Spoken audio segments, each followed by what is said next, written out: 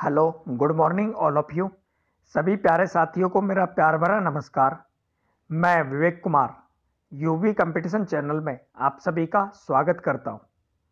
दोस्तों, रोज़ाना की तरह मैं लेकर हाजिर हूँ डेली करंट अफेयर्स जी के, जो कि आपका हिंदी और इंग्लिश लैंग्वेज में अपडेट्स हैं। मेरे प्यारे साथियों, आज 25 फरवरी 2019 के करंट अफेयर्स की हम बात करते हैं। साथियों, यदि आपने डेली करंट अफेयर्स के लिए हमारा चैनल यूवी कंपटीशन सब्सक्राइब नहीं किया है तो यूवी कंपटीशन चैनल को सब्सक्राइब करें और साथ ही बेल आइकन दबाना ना भूलें, जिससे आपको हमारे द्वारा दिए गए अपडेट्स के नोटिफिकेशन मिलते रहें। इसके साथ ही यदि आप राजस्थान जीके और मैकेनिकल इंजीनियरिंग पढ़ने के इच्छुक हैं तो उसके लिए अन अकेडमी ऐप पर मुझे फॉलो करें। अन अकेडमी ऐप पर फॉलो करने का लिंक आपको इस वीडियो के डिस्क्रिप्शन में मिल जाएगा। आइए शुरू करते हैं आज के मुख्य समाचार। सबसे पहले बात करते हैं हम राष्ट्रीय समाचारों की। Badminton star P V Sindhu flew in Tejas fighter jet. Made in India on the fourth day of Aero India show. Aero India is celebrating the fourth day of this show as part of women participation in the aviation sector. Sindhu has become the first women to fly in Tejas. Aero India show के चौथे दिन badminton star PV Sindhu ने भारत में बने तेजस fighter jet में उड़ान भरी। Arrow India इस शो के चौथे दिन को उड्डयन क्षेत्र में महिलाओं की भागीदारी के तौर पर मना रहा है। सिंधु तेजस में उड़ान भरने वाली पहली महिला यात्री बन गई है। Next, national certificate board for hospitals and health service providers, N A B H has revised the entry level certification process too so that the process is simple quick digital and easy. To use. NABH has created a new portal named HOP for this purpose. Its aim is to make small units which are providing services to the healthcare sector, including hospitals across the country to provide quality services at the earliest stage.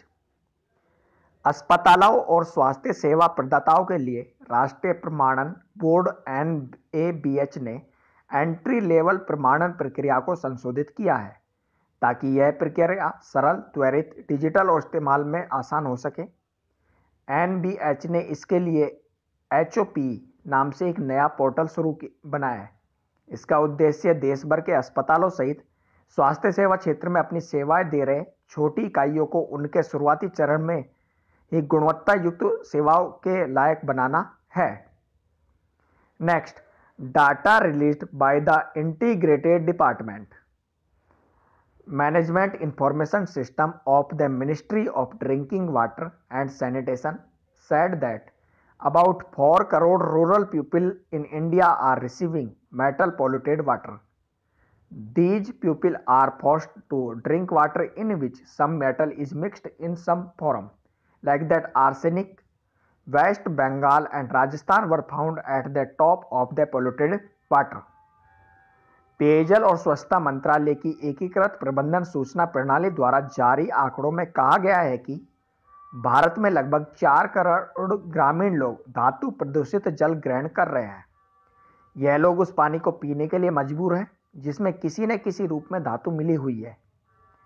धातु प्रदूषित जल के आंकड़ों में पश्चिम बंगाल और Rajasthan top स्थान पर पाए गए हैं। आइए बात करते हैं स्पोर्ट्स न्यूज़ खेल समाचार की। Caribbean gooseberry Chris Gayle who announced his retirement for one day cricket has made a century long explosion in Bridgetown Gayle 39 years Gayle played a superb inning of 135 in 129 balls. That is 12, 6 and 3 fours.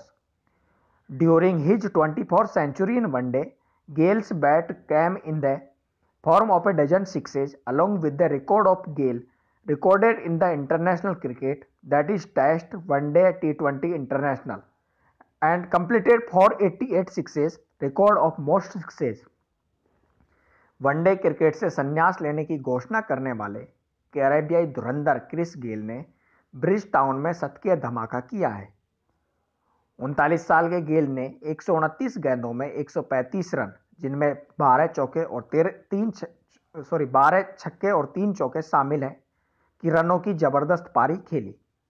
One day career में अपने 24वें शतक के दौरान गैल के बल्ले से दर्जन भर छक्के निकले। इसके साथ ही international cricket test one day और टी ट्वेंटी इंटरनेशनल में सबसे ज़्यादा छक्के लाना, गाने का रिकॉर्ड। गेल के नाम दर्ज हो गया है और उन्होंने कुल चार सौ अट्ठासी छक्के लगा दिए। तो मेरे प्यारे साथियों, ये था आज का करंट अफेयर्स जो कि आपके करंट अफेयर्स है और सभी एग्ज़ाम्स के लिए इंपॉर्टेंट है। यदि आपको हमारे वीडियोस पसंद आते हैं तो लाइक करें। जो भी आपकी क्वेरी है, जो भी क्वेश्चन है, वो कमेंट बॉक्स में डालें और यूवी कंपटीशन चैनल को सब्सक्राइब करना और शेयर करना ना भूलें। थैंक यू सो मच धन्यवाद, आपका दिन शुभ हो।